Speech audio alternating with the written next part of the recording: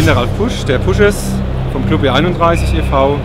Ähm, wir sind der BMW 850 Club. Äh, wir sind weltweit äh, engagiert, um das Image des äh, schönsten Coupés der Welt ähm, aufzupolieren.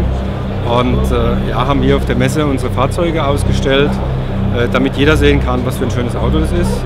Und wir haben also weltweit Mitglieder, die uns auch unterstützen mit verschiedenen Accessoires, die sie uns für die Messe zur Verfügung gestellt haben und äh, schauen halt mal, wir sind das zweite Jahr hier, äh, was dieses Jahr uns so bringt auf der Messe. Und äh, ja, der Verein hat also mittlerweile über 250 Mitglieder. Ähm, wir sind wie gesagt weltweit tätig und sind der bei BMW äh, akkreditierte Club und haben auch hier von BMW dann äh, Rückendeckung und haben unsere, äh, die unterstützen uns also auch bei unseren Auftritten etwas und sind auch auf anderen Messen auch mit BMW zusammen unterwegs. Also der Club hat auch eine Internetseite für die Interessierten, die sich äh, mal einlesen wollen. Äh, die Seite ist die www.clube31.de zusammengeschrieben. Ähm, dort kann man sich kostenfrei einfach mal informieren. Es gibt dort äh, eine Liste zum Beispiel, wie wenn ich mir einen Achter kaufe, was muss ich beachten.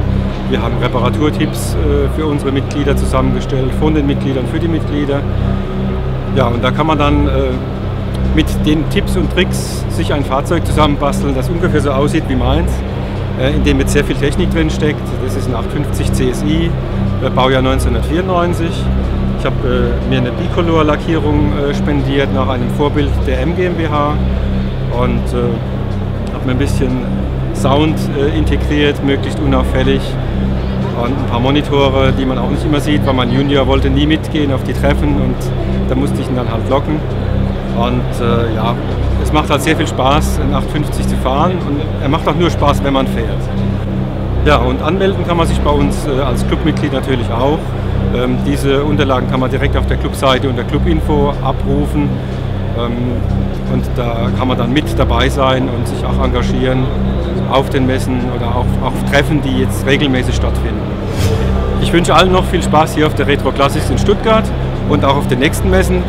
Die werden ja auf jeden Fall stattfinden. Und ja, wir sehen uns irgendwo auf dem Achtertreffen oder im Verein. Bis dann!